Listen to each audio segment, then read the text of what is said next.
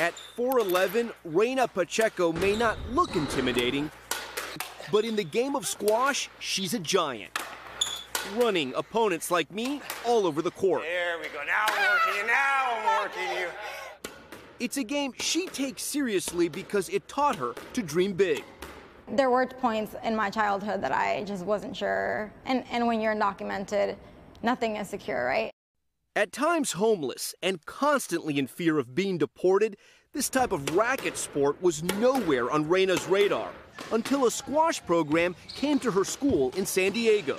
We take low-income students from areas that are often never seen squash before, so they spend half of the time studying and half of the time training squash.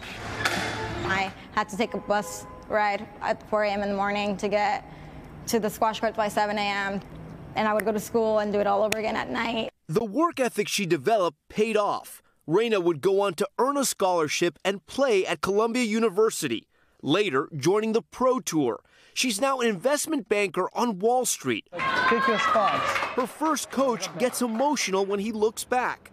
Proof, he says, this program works. It's more than a sport. Yeah, it's, it's life, you know. Currently, there are more than 2,000 kids enrolled in Squash and Education Alliance programs across the U.S. Organizers say 94% of their kids graduate and go to college.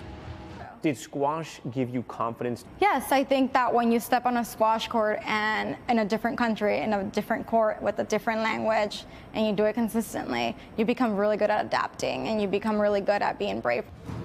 Learning to first navigate the court to yep. later lead in life.